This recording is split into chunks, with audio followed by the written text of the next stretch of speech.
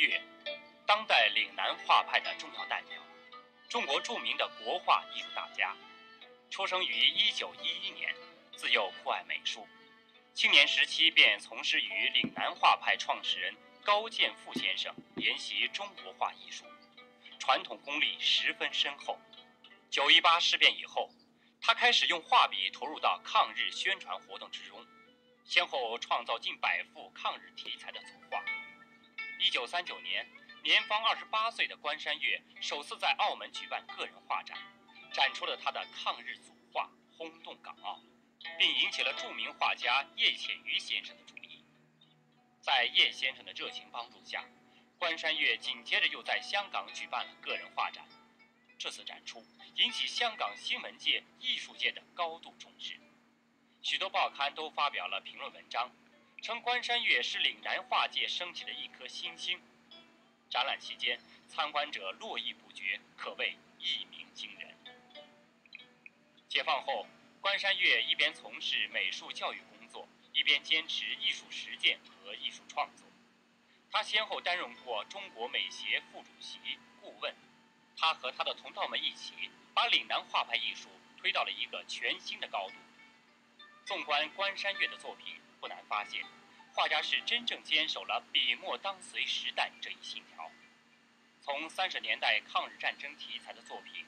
乃至八十至九十年代，反映改革开放政策带给祖国新的繁荣强大，其内容和形式都强烈的散发着不同的时代气息。从忧愤深沉到昂扬奔放，进而苍润洒脱，充满豪情，不同的感受驱使不同，造出不同的意境。这充分说明关山月画风的不断变异。是和时代背景分不开的，同时与画家本身思想感情以及主张追求的变化发展都密切相关。岭南画派反对闭门造车，主张面对自然和现实，这一宗旨同样也贯穿了关山月的整个创作过程。从三十年代末开始至今，他的足迹不但踏遍祖国大江南北，而且跨洋越海，远涉南亚。欧澳，计算起来何止行万里路？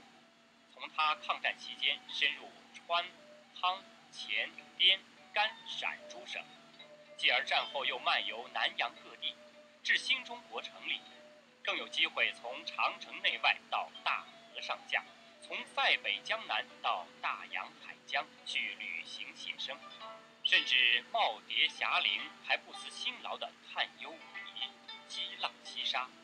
丰富多彩的生活实践，极大拓展了画家的创作天地，为他提供了用之不竭的创作源泉。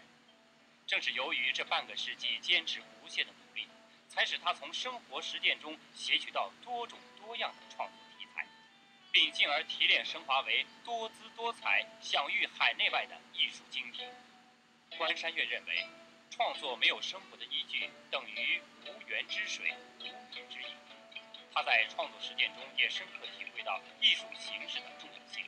只有内容和形式有机统一，艺术才有价值。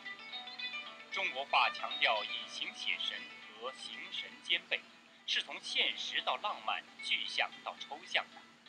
他认为，优秀传统文化一定要认真继承，外来的、好的、有用的一定要大胆借鉴，目的都是为了使中国画得到新的发展，收到有效的。关山月是一位德高望重的中国画艺术大家，更是一位美术教育家。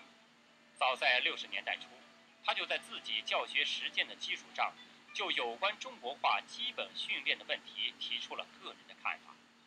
他认为中国画在观摩对象、认识对象和表现对象上有他自己的传统和规律，和西洋画有所不同，是两个不同的体系。